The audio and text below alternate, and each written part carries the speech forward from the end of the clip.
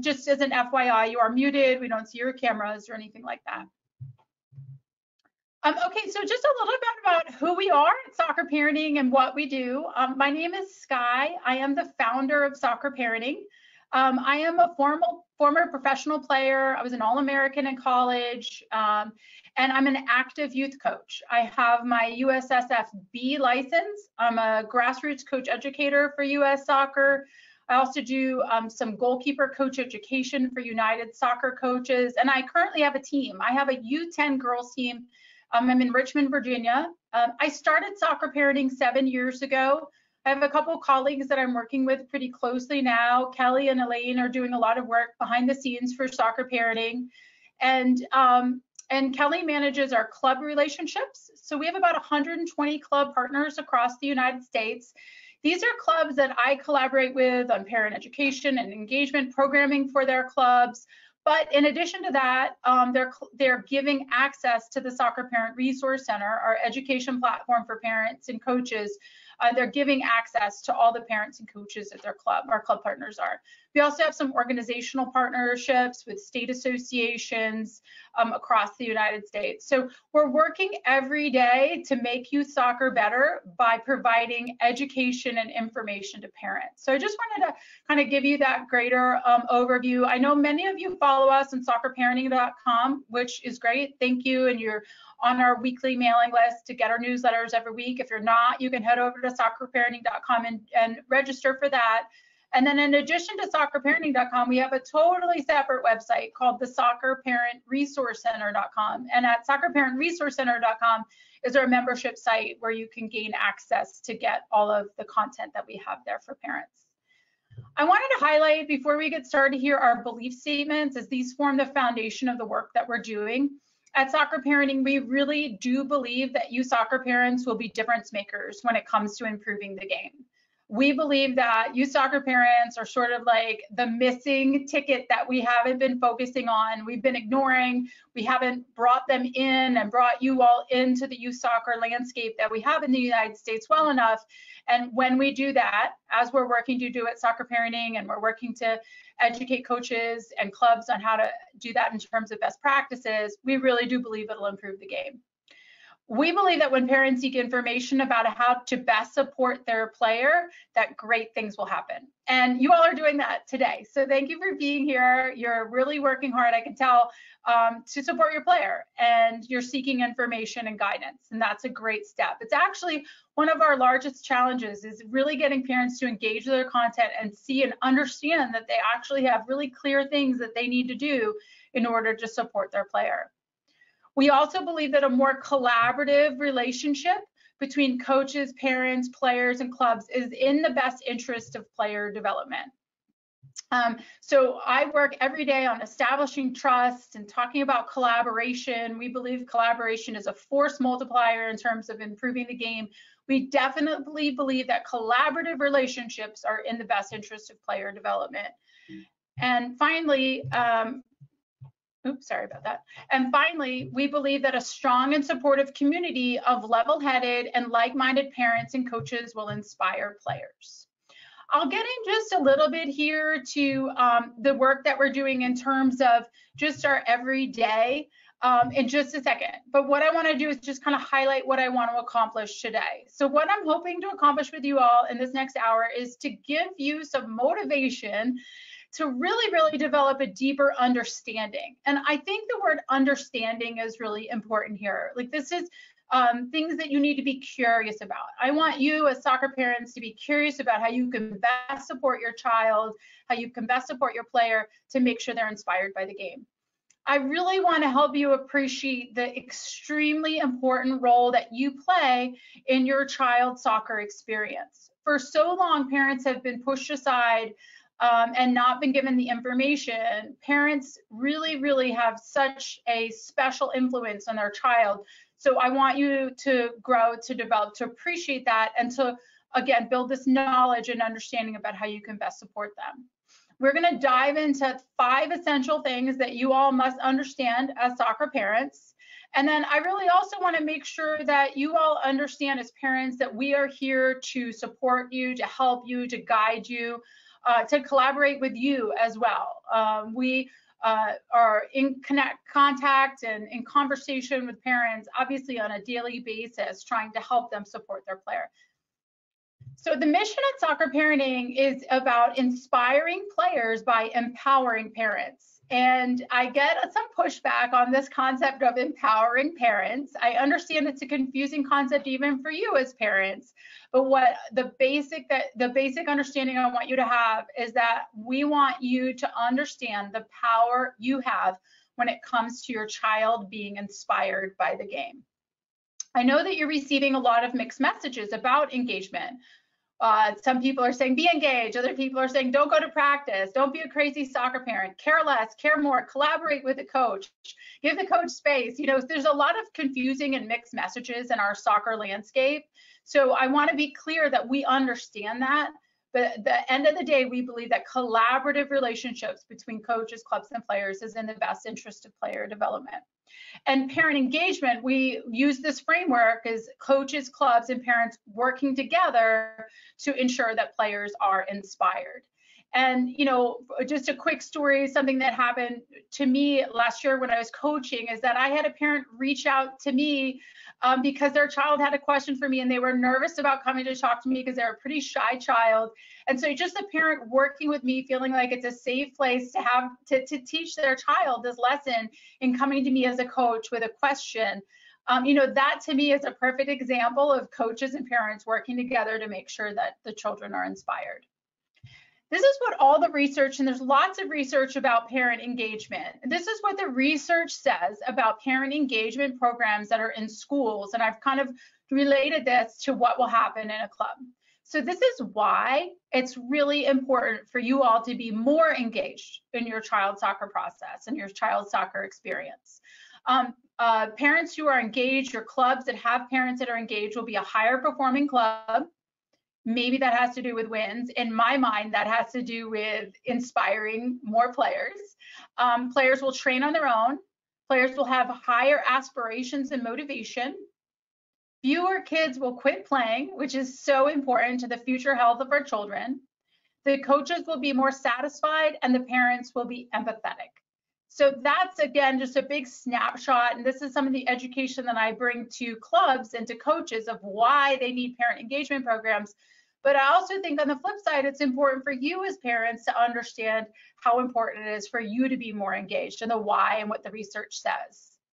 Now, you might have a child that's kind of already inspired, or maybe you have a child that is going through a little glitch and isn't feeling super inspired. Really, uh, all parents have a role to play here. So if your child's already inspired, we really need to make sure that they're thriving that they're living up to their potential on the fields, that they're learning the life lessons that we intend for them to learn. As well as parents, if you have children that are inspired, you still really need to focus on parent education. So parent education is such an important component of parent engagement. And um, these are areas that you need to focus on for your education. You need to um, develop some deeper understanding about the nuances of the game, the laws of the game, offsides, uh, just finding a deeper connection to the game that will help your child be more inspired. Um, get education regarding the next level, whether that's going from rec to travel, from travel to ODP or into the ECNL, the girls um, DA, the GDA, or MLS Next, whatever it be, or playing in college or professionally. You need information about the body, player, uh, like maybe injury prevention, growth spurts, strength, power training, all of those types of things. Obviously, mental performance, the coach and club relationship, and then you need more information, education regarding parenting itself and how you can uh, you know, interact with your child in the most positive way. And then also, obviously, you need a strong community around you. And if you're a parent that has a child that's not inspired, we really want to help you have confidence to follow your instincts as a parent. Usually children aren't inspired for three general reasons. Either the parents are putting too much pressure on them. We'll talk about that today. Um, the child's on the wrong pathway. We'll talk a little bit about that today, meaning they're um, not in an environment that suits their athletic potential and or their, uh, their athletic mentality towards sport. So maybe they're in a team that doesn't meet their needs or their learning environment isn't good enough. And we'll talk about that today as well. Um, parents also here need parent education and a strong community around them. Like I said, we're working every day to make youth soccer better, and we're doing that together. Coaches, clubs, parents. I know there's lots of coaches on this call as well, and I certainly welcome your questions as well really big picture, what we're doing is culture change. We're working to change the youth soccer landscape and the culture. And culture is a combination of knowledge, beliefs, values, behaviors, and that's something that we're really focusing on today. So today I'm diving in to five key areas that you need to build knowledge around. Um, I showed you our belief statements. I'd encourage you to go back to soccerparenting.com and check those out. Also at Soccer Parenting, we have the six soccer parent value statements, things like active health, coach integrity, life lessons, love of the game. So we have key um, parent soccer parent value statements. Um, those are available in Spanish language as well. And then obviously, you, it, once you build your knowledge, your beliefs, values, that really guides your behaviors. So that's when we're seeing the culture change work. Okay, so let's get into these five things. So five essential things all parents must understand. I'm gonna pause just for a second and uh, okay, just seeing some questions come in. That's great. Just want to make sure. So five essential things that all parents must understand. The first one here is a deeper understanding of motivation. This has become especially true during COVID when we've had all, all children in um, inside and are given individual training programs by clubs. And some of the kids have been really keen on getting out and training for 20, 30, 40, an hour, minutes, whatever a day. Um, others have not. and so we have had to like triple down on the education we're doing with parents when it comes to having a deeper understanding of motivation. There's two key things that you need to understand here. The first is something I think a lot of parents are aware of growth mindset. This is the research by Carol Dweck from Stanford University about growth mindset. Very simply put, and on the Soccer Parent Resource Center, there's lots of content regarding growth mindset. Um, Carol, Dr. Dweck's book is called Mindset. It's very education related and related towards teaching and the classroom, but it's definitely relevant to parents. And very simply put, growth mindset is um, a child's confidence and they're in, in the connection between the work that they're putting in and the improved outcomes. So um, you either have growth mindset or fixed mindset in situations or you know, part of both. And this affects adults, kids, everyone. So in some situations, we have a very strong growth mindset believe that the work we put in is going to result in better performance and higher outcomes. And other times we go in and we have more of a fixed mindset. We don't have the motivation. We don't have this positive mindset.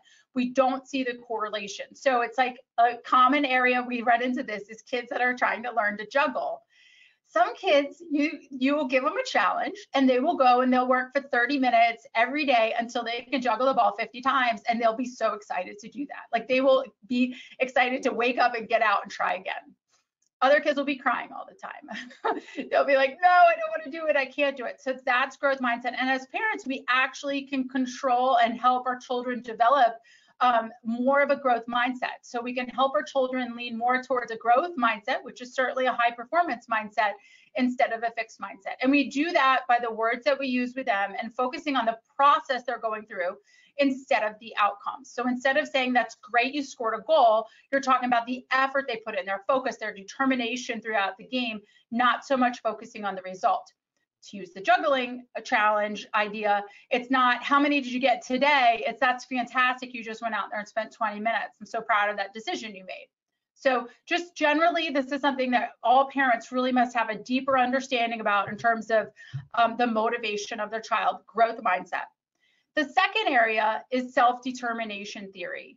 This is really groundbreaking research by Deci and Ryan. Um, you can find this online. It's pretty common from a psychology standpoint, but this forms the theory of the science behind motivation. And in self-determination theory, there are three key components of motivation. For somebody to be in a highly motivated state, they need three things to be happening. The first is they need competence. So they need skill. They need um, confidence and competence in their ability to be able to perform.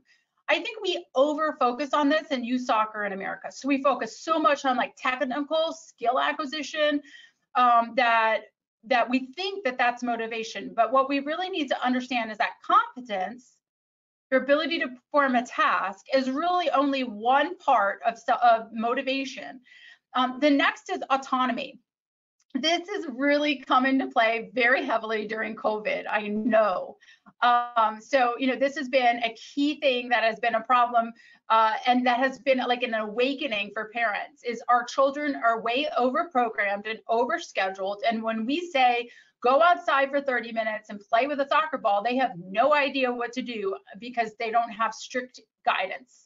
And so helping our children develop autonomy is fantastic. And when I think about COVID and the results of COVID on our youth soccer ecosystem, I actually kind of get excited about this because this part of motivation is so important and has been so lacking. And, and I think that we're seeing a sort of a resurgence of kids finding their own personal connection to the game finding this sense of autonomy that um, they want to do this because they have a strong connection to the game, that they're working on their own and motivated by themselves. Um, so autonomy is another super important thing about self-determination theory. And the third component of this um, of this work on motivation is relatedness. We're going to talk about that in one of our future points, but it's how our children feel a connection to the game or maybe a connection to their teammates, a connection to the sport, a connection to their performance. So their relatedness and their connection to the task at the moment, how they're feeling about it. Um, and so from a parent's perspective, I think this is one of the key things that you all must understand is again, number one, building a deeper sense of awareness and understanding about motivation. So understanding growth mindset, and really, really, really understanding self-determination theory. And like I said, there's a lot of great research, a lot of great TED Talks from both Dr. Dweck and from um, and from Dr. Deci that you will be able to find on um, on YouTube. I love Dr. Dweck's uh, TED Talk called "The Power of Yet." So with our children, instead of saying, you know, oh, you haven't learned that yet, and adding in the word yet gives them the sense of hope that there's potential that they will learn something, and that facilitates a growth mindset. So I encourage you to check out some different, um, you know, TED Talks related to both of these concepts of motivation. Number two is this understanding parents need a deeper understanding and knowledge regarding uh, athlete development. There's a lot of components to athlete development that we could get into here. I sort of narrowed down and want to talk about a handful of them, but this is important to start with, is that this is the way we often imagine our children will go through their soccer experience.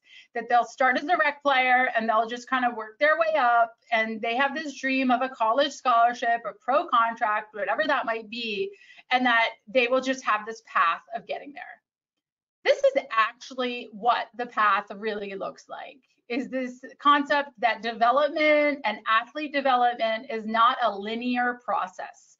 There are lots of ups and downs and backward movements and uh, you know to, as we're going along on this process. And most importantly, and what we really need to understand as parents when it comes to athlete development is that for the vast majority of our children, the vast majority of our children, this is what it'll look like. They will never get a scholarship to college, um, but their athlete development is really essential to their growing into a functioning adult that's healthy and has a healthy adulthood, and also has a deep connection to the game that they will carry with them for life. So maybe this will be the child that plays club soccer in college, or will become a coach or a referee, um, or a big fan of the game um, and find a deep connection to the game just from being a fan. So um, we need to really understand that development is non-linear. Um, the second thing that parents really need to understand about athlete development is just developing an understanding of the comparison trap. This is kind of related to what I was just talking about in terms of how um, development isn't linear. So our kids are developing, they go through these ups and these downs and all of these you know moments. Um, and and i think this is really real relatable for people. And we especially see this i especially see this i feel like in the age where i'm coaching this u10 age because some kids have such a strong so, much um, stronger understanding of the game than others. Or also our kids are at such a key moments for learning that one game they'll be able to execute on a certain task and the next game they won't. And so we'll think they've learned something, but they haven't necessarily yet. Um, so there's lots of ups and downs. And what happens with a comparison trap as parents, we see other children on the field that are keep going. And we see our children, our child take this little dip. And this key blue triangle is where things get really stressful. This is where we as parents start putting too much pressure on our children, where we talk to them too much after the game, where we give them long pregame talks about how they can, you know, be exceptional at this game or what they're going to do at practice, or we get too stressed. And whereas parents, we feel like our stress level is really rising, usually it's because this is happening and this blue space has formed. And most unfortunately, what often happens is that children drop out of the game at this point. So extremely important for us as parents to be aware of this sort of comparison trap, also having this perspective on what real development looks like for our children so that we understand eventually where they're going to get. Likely not up to the college scholarship space, but just across developing a love of the game that they'll have for life. And we need to let them have their own journey through the game. I really think this is important is that we need to, as parents, focus on just developing this love of the game. Like I just said, just this connection and helping our children develop a connection to sport and to their teammates and learning all these great life lessons. Because that's really what we're what this experience and this youth sporting experience will be all about. Another really key important thing from an athlete development standpoint for you all to understand as parents is relative age effect. This is a very big topic. In fact, yesterday I was on a call with um, somebody Bob from the Belgian FA. I was happily invited on the call um, that was with a lot of the MLS Next coaches and really great presentation that um, he did from the Belgian FA. I think he's the U17 coach or U17 coach right now and does a lot of work with the federation but we talked a lot about relative age effect. And just to make this very simple, because it's actually really important for parents to understand as well, is that relative age effect is the phenomenon that the majority of children that are chosen to elite level sport are from earlier in the birth cutoff. Our birth cutoff now in the United States is a birth year, so it would be January. And so when we're going through this, when we're going through a selection process, unfortunately, what happens is that the majority of players that are chosen are from that earlier part of the birth year. There's understanding on that. They're they're eight months um, older, just from a month standpoint, but you know that can be even longer from a development standpoint. This is some interesting data that I think you all would be interested in. So this is the U17 European Championships back in 2019 for the boys. So these are all the boys that were on the various teams that were competing in the U17 European Championships. 57 of them were born in January, and this will just give you a really good visual of what we're talking about when it comes to relative age effect. Um, and I think this is essential information for parents to understand. So if you have a child that's towards the end of the birth year, you really need to be cognizant of the comparison trap. You really need to be seeking um, different, potentially different experiences for your child to make sure that they have the support that they need. And you really need to be okay potentially with them not being on the top team um, and finding their path and developing within the second team. Uh, the really good research that we got into yesterday, which I really enjoyed, was the long-term effect, is that the catch-up that happens and that we actually see the younger kids in the birth year um, competing more in the future at high levels. And that's because of the mentality that they've had to develop, the awareness they've developed as smaller players, the different skills that they've had to develop in order to succeed. So there is hope for all of us with parent with kids. My daughter's a November birthday at the end of the birth year. Um, but it's just something that we as parents need to be very cognizant of. Another thing from elite from athlete development that we need to be aware of is that functional movement is now as parents our responsibility. Helping our children develop functional movement skills falls on us because they're not getting it in PE classes anymore and they don't have these interactions outdoors with friends. They're not playing in trees and jumping all around and having this time outside and this free play experience where they're developing their sense of their body and proprioception, their body moving in space. And, um, and so as an example, I asked um, the girls on my U10 team, again, to go back to that. Um, four of them didn't know how to do a cartwheel, had never been taught, and five of them didn't know how to do a forward roll. So these are essential movement skills that we have with kids. And now as parents, we just need to take responsibility for this falling onto our plate. Um, whether or not if we choose to get our kids involved in taekwondo or different dance or different movement gymnastics to help develop these skills is you know something to consider but really we need to see uh, realize that this does become our responsibility kids that can move better will perform better have more confidence have more of a connection to the game and we'll have less injuries as well. And we have some really good conversation about that on the Soccer Parent Resource Center with experts in the space. Um, if you go into the library there and you search um, long-term athlete development or athlete development, you'll find some really good content and interviews about this. Number three, parents need to understand the important role that you play in establishing a sense of community. This work that I do on sense of community with clubs and coaches and encouraging them to establish this is really, really important. It's fantastic research. Sense of community theory was um, originally done by McMillan and Chavis in 1986. There's been follow-up studies by Warner and Dixon and um, Eric Legg, who I have collaborated with, he works at Arizona, Arizona State now. He did a fantastic study that actually took sense of community theory and what, uh, and, this is uh, what components need to be in place within a group for us to be, feel a strong connection to it. And Eric in his study related this to sports parents and then extrapolated this data to say this is what sports parents need.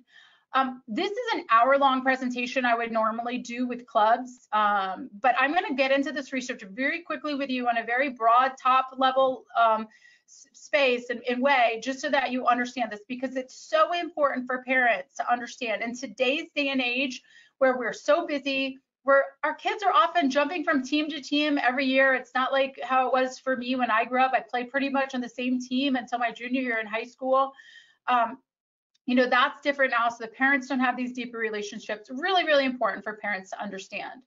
There's four dimensions of community. The first is group membership and within group membership, there's four components. So again, in this next slide, we're talking about the four components of group membership. So we all relate to this. Uh, we do, I think, have a pretty okay sense of what group membership means. We have a personal investment. We pay usually for our children to play sport. Um, and this is these are slides that I work a lot with coaches and clubs on, is that we need boundaries. In order for us to feel a strong connection to the group, as parents, we need boundaries. So I work with coaches on that. Like this is what you need to open the door to parents to engage with you about. And this is what's not okay for conversation. Parents shouldn't be talking to coaches about um, specific like substitutions or tactical decisions they made in the game, but should be talking to the parent if they have any questions about their player's inspiration or want to learn more about the game, those types of things. So we need boundaries to have group membership. We also need emotional safety. The example I used earlier of the parent that called me with their child who had a question for me and they're a very shy child, that parent felt emotionally safe with me that they could call me, that I wouldn't like ding their child as a coach because their child was shy or they were nervous. I wouldn't think less of the child. Instead, we thought this was a great opportunity for the child to learn. So that's emotional safety. We also need to have a sense of belonging, like a connection to that group. Maybe that's with the gear that you wear that's related to the club or the team, things like that. So the second dimension of communities, we just went over group membership, is needs fulfillment. And as parents, I think it's easiest to say that we need our children, uh, we, we need to feel confident that the coach cares more about our child as a person than they do as a player. That's what I need. I need from my child's coaches to know that they care about them as a person, that they're treating them well. Um, another dimension, important dimension of community for us to think about as parents is influence. We'll get into this when we talk about sideline behavior a little bit later, but influence is bidirectional. The coaches have lots of influence on the community, as do the parents have lots of influence in the community and the and the coach. And what I always find interesting when I'm talking to coaches is that by and large, they will say that it's the parents that have all the influence The coaches will say the parents can make my life miserable, that a crazy soccer parent has ruined it for me, that they can complain, they can take a lot of my energy with too many questions. Um, and then when I talk to the parents, they say, oh, it's the coach that is all the influence. They're the one that can make my child's life miserable. They're the one that controls my child's playing time, if they're going to make the team or not. They're the one that generally controls how my child will feel when they get in the car after a training session or a match. So um, we need to understand that influence is important, but I also want you as parents to understand the important role that you do have when it comes to influence within the greater soccer community, whether that's your club or just a team.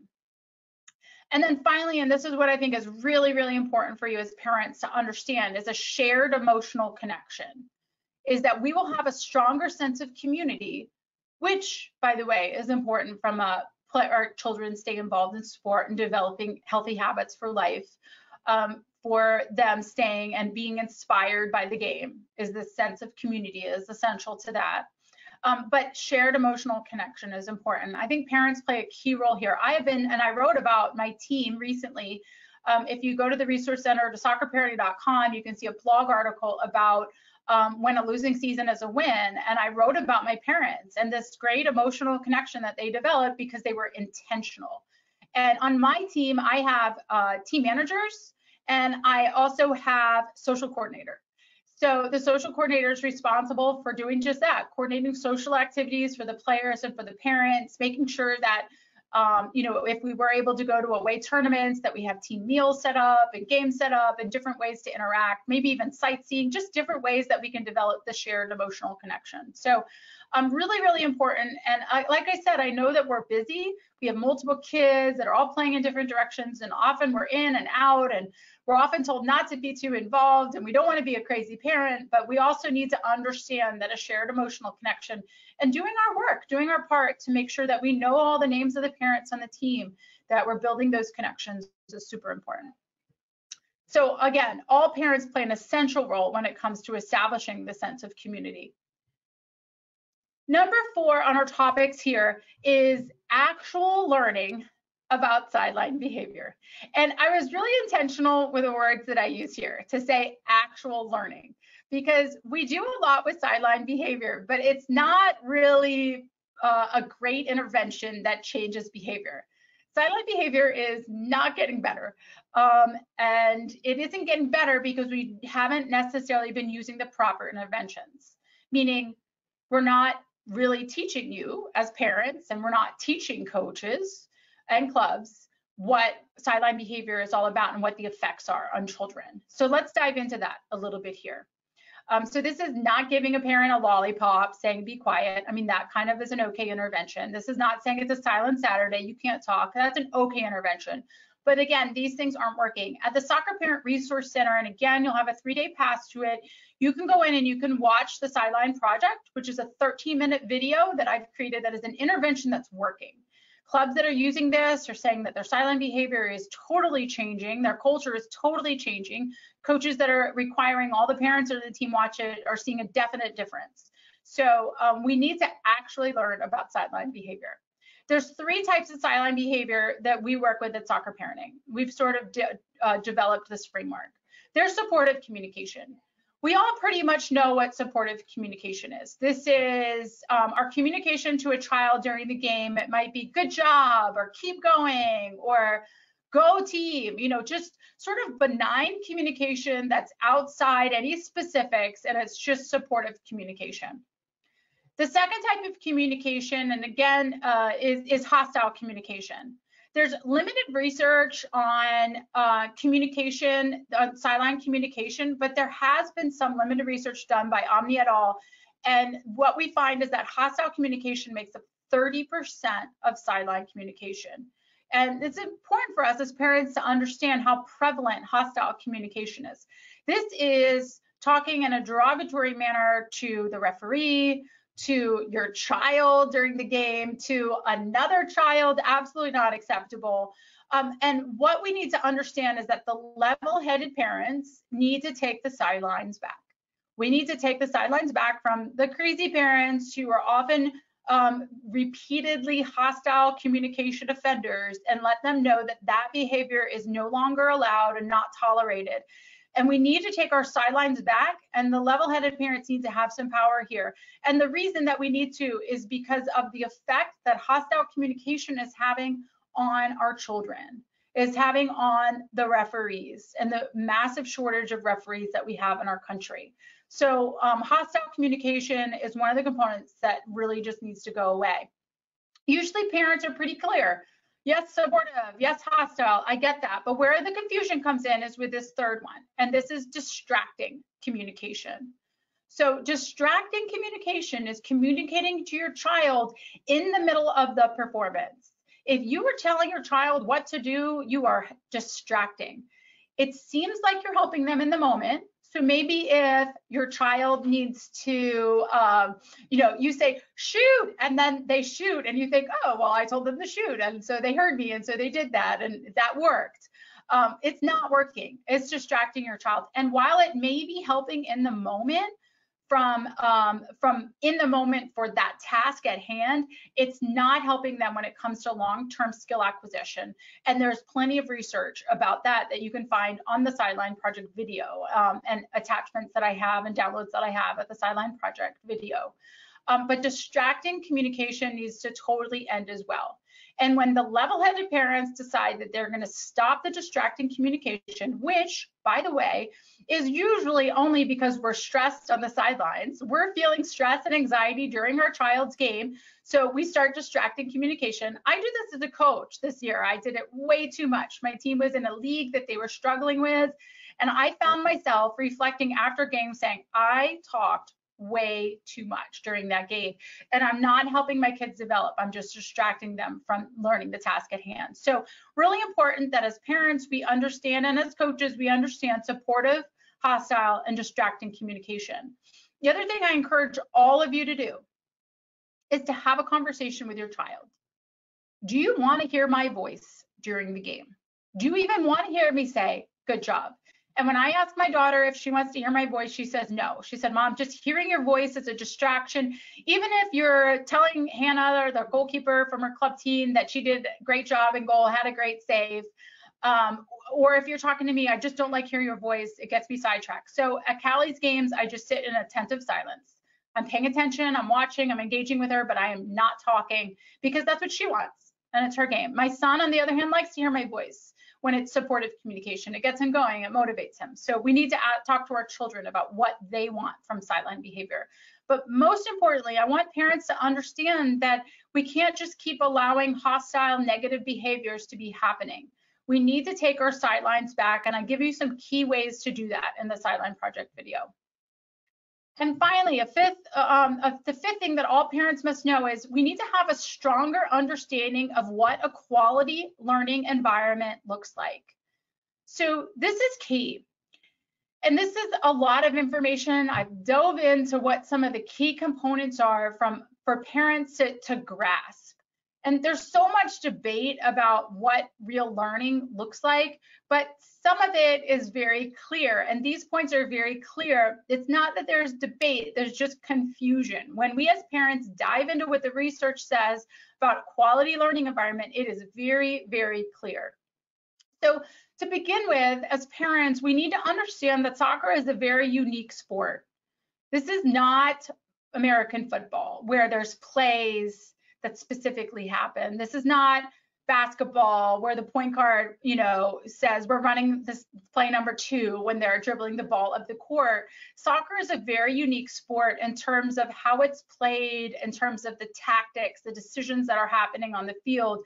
And I have to say that quite frankly, a lot of times we have it all wrong we're um, we're not executing on the right things when it comes to our understanding of what real soccer is. It's not necessarily about the task at hand as much as it is about the decisions and the player's awareness of things. So as parents, just very generally, we need to understand that soccer is a unique sport. It's not like any other sport in America when it comes to what a proper learning environment looks like.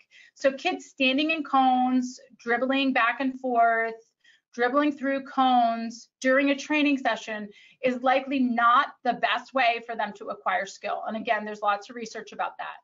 Skill acquisition is a process. So going back to that like up and down and twisting line, that could, relates to skill acquisition as well. And how our children interact with the game and interact with the ball and their ability to acquire skill is a process.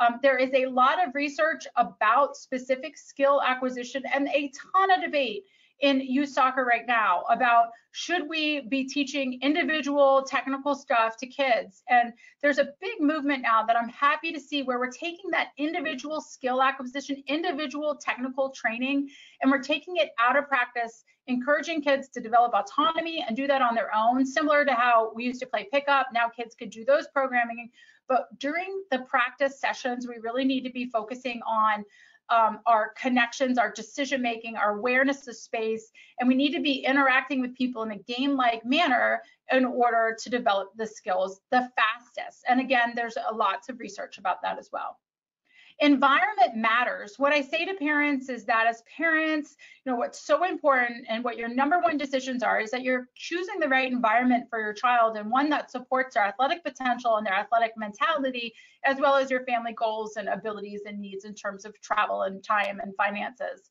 Um, but environment really does matter. Who the coach is matters what the coach's understanding of the game really does matter and how our children interact during a session matters I say this because I hear from a lot of coaches that say, oh, I want to do more playing and games-based learning for the children, but the parents are putting pressure on me because they say it doesn't look like soccer practice if there aren't cones everywhere and the kids aren't doing it skills and stuff like that. So we need to just develop our understanding of what environment needs to look like. And we also need to understand as parents when it comes to learning is that performance is a very unreliable indicator on if learning is happening. So performance meaning game results, those types of things is a very unreliable indicator, especially because some of our children, like we said, are ups and downs and are maybe not as strong or as tall or as fast as other players, but they might be um, going through lots and lots of learning, but it might not show in the field if they're competing against players that are maybe taller or bigger than them. So a lot of key things for us to understand when we talk about performance, but we can't gauge whether or not learning is happening based on performance. Um, maybe we have a coach that is like micromanaging all the players, telling them what to do all the time, and the team keeps winning because the coach is telling them exactly what to do all the time. That's not learning. That team is learning to listen to the coach telling them what to do. They're not necessarily learning about um, about the game itself. Practice design is important. I kind of got into this a moment ago when I was saying that coaches, I hear feedback from them. If I create a good practice that's very um, player centered, uh, that parents, I'm getting feedback from parents that it doesn't look like a good quality practice because there's not enough skill acquisition in terms of what we're used to with dribbling and stuff. So practice design is important. Holistic practice design, if you can imagine that squiggly line for how development isn't linear, and then as a coach, imagine a coach trying to develop a practice that speaks to each individual player and where they are in their journey, that's good quality practice design. An example I like to use with parents as well in this situation is this concept of how we have players interact during um, during practice or a game. So an example I could use during a game is a question as a coach I could ask. So I could, as a coach, I could tell and scream out to the players on my team, get goal side. And I could tell the kids on my team, let's say it's a corner kick for the other team to get goal side. Or I could scream out, how can you protect the goal? And I can help the players make their own decisions. So if we can design practices that are causing the players to think and process like that and make decisions, that's when the real, real learning is happening. You know, learning looks like having fun. Your child should be inspired. So when your child is inspired, um, they will be more apt to learn. So when they have more of a connection and joy around the game. So it is important that we understand that. And this is where I go into encourage parents to really follow your instincts about how your child is feeling. Um, there's a lot of reasons, like we talked about earlier, why kids might not feel inspired. Maybe they are um, there's too much pressure from the parent. They're not in the right environment. The coach is is um, being mean or more of a bully type coach. There's a lot of reasons, or maybe they have an issue with the players, or maybe they're like I said, just not on the right pathway, and they need to be in a lower or a higher playing environment. But having fun should be foundational to it.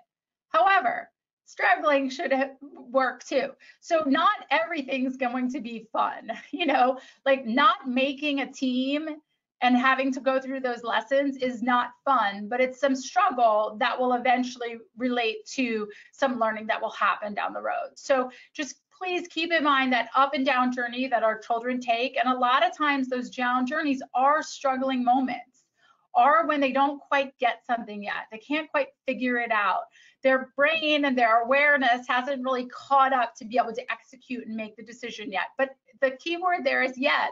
Um, but the struggle is where the learning will happen. And so as parents, we need to make sure that we're not trying to come in and fix things and make things okay.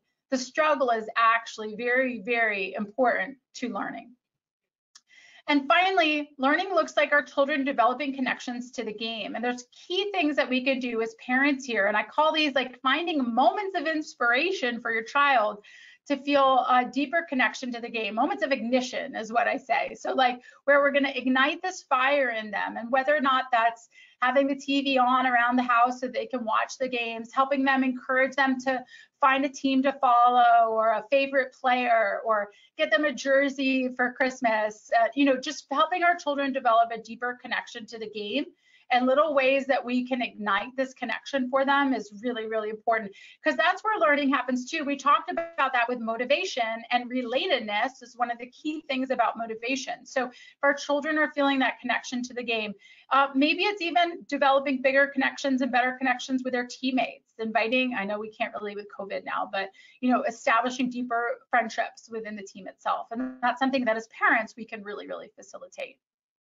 you know, the quality of a community and its culture is really reflected in the standards that we set for ourselves. And so this is a slide I go through with coaches all the time. Like, what standards are you creating for your community? Um, what are your coaching standards? And I ask parents this as well. You know, I hope that at the end of the day, as you're listening to this, that you will have increased standards for yourself on what it means to be a soccer parent. It's it's much more than um, a lot of times we're letting it be. And there's more ways that we do need to engage and connect with the game. And again, I would just encourage all of you to kind of just set down, you know, what are my standards in terms of what do I believe to be true about what my role is as a soccer parent to make sure that my child is inspired. As we're wrapping up here, I want to make sure that you know that we are here to help. Um, on social media, we're interacting with people all the time. You can follow us on at Soccer Parenting on Facebook, Twitter, Instagram. Twitter is probably where I'm most active in terms of connecting and messaging people and responding to people. Um, and we have club partnerships all over the United States. So we have about 120 club partnerships. We're definitely growing that. And then there's a you know community that we're building through the Soccer Parent Resource Center as well. Uh, it's impossible for me to show you the Soccer Parent Resource Center and give you a feel for it. So I put this slide together to maybe overwhelm you for a second. I mean, this is just maybe a quarter, if that, of the content that we have on the Soccer Parent Resource Center. So there's these concepts of soccer talk we're breaking out the game. There's an Ask the Expert section where I have a phenomenal group of coaches that parents are asking questions and the experts are answering them. We do interviews every month. You can catch all the recordings of the interviews. There's articles, courses, Soccer Parenting 101, 201, 301, the Sideline Project, tons of information on the Soccer Parent Resource Center. And you do have a three three day pass. So if you go to soccerparenting.com slash join, You'll find a three day pass if you're not a member already to be able to get behind the membership wall and take a look at all of the content that's there. So I certainly encourage all of you to check that out. And I'm going to look now um, into questions and discussion um, through here. So I encourage you all to pop in any questions. Um, yes, yes, I know the soccer parenting side the soccer, the sideline project work that we're doing in improving the sidelines is essential. Somebody's asking for what those three were. So it's supportive, distracting, and hostile communication. And key things are is that we need to eliminate distracting communication. Obviously, we know we need to eliminate hostile communication. Clubs need to step in with stronger policies there. Um, but as parents, we need to be much more cognizant of our distracting communication because when we think we're helping, we're actually not facilitating learning for our children.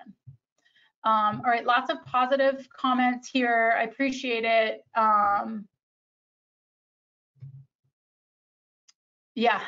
How do you get your children to get away from the video games and practice more? I wish I knew. Um, no, I think that um, developing connections, and this is where coaches can come in too, um, in terms of setting some standards for the team and being aware of like this is a challenge for me.